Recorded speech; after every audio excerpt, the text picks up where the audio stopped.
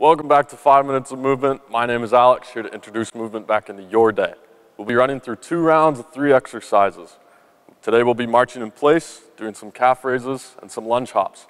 As always, please scale these to both your ability and your comfort level. All right, so our first exercise, marching in place. This one's easy. Just pump your arms and your legs. Try to lift your knees to 90 degrees if you can.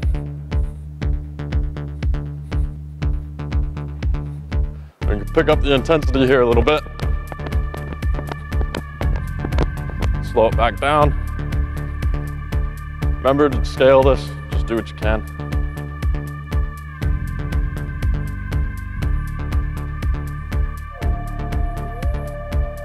And moving on to exercise number two. This one's gonna be calf raises. So for this one, feet hip width apart. Gonna go up on your toes. Go back down nice and slow. If you're shaking like me, grab a chair or something beside you. Go up nice and slow. Slow back down. Up slow, slow down. Give you a nice side view here. Up and down. It's that easy.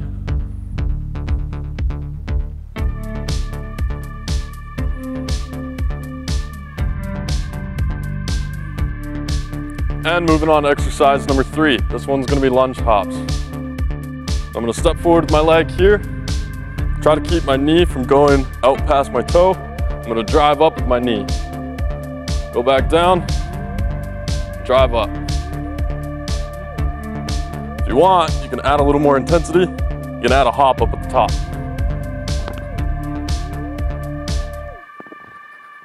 Just use that front leg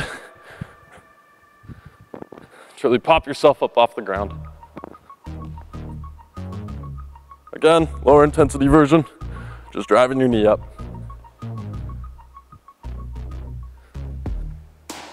And on this one, we're back to high knees. So remember to try to bring those knees up to 90. You can speed it up a little bit or drop it back down. Just remember to scale to your ability. Gun, side view, sped up a little bit, and back down. Alternating those arms and legs as you go.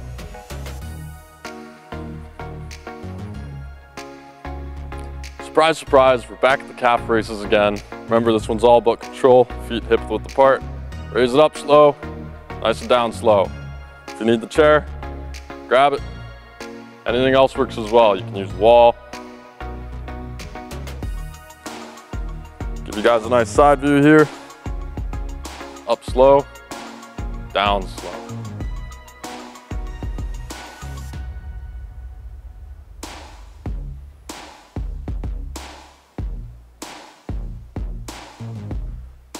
And we're back to lunging hops with this one.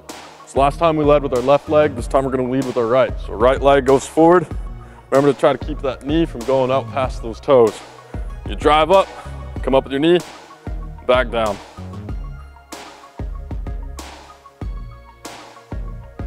Remember, if you want to scale this for a little bit of intensity, you can add in that hop.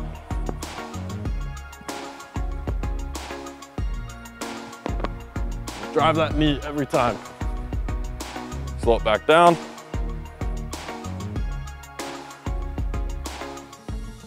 We've wrapped up our workout, now we're gonna move on to our stretches. This first one is gonna be a hanging toe touch. Feet hip width apart. Bend your knees a little bit. Don't have those legs locked. Just gonna gently go down, hang, sway back and forth a little bit. Just got a good feel for it. Inhale, exhale, sway back and forth a little more. And you come up, lead with your head last, stand up nice and tall, go back down, do it again.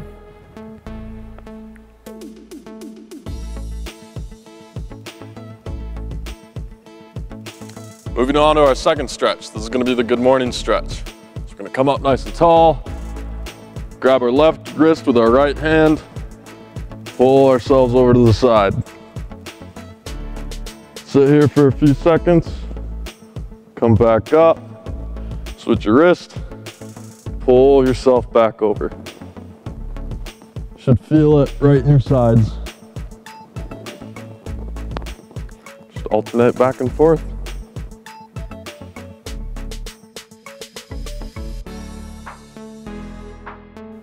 Awesome. Thank you very much everybody for joining us during this movement break.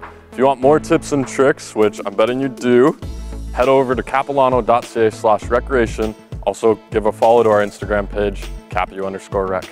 Thank you very much. Have a good day.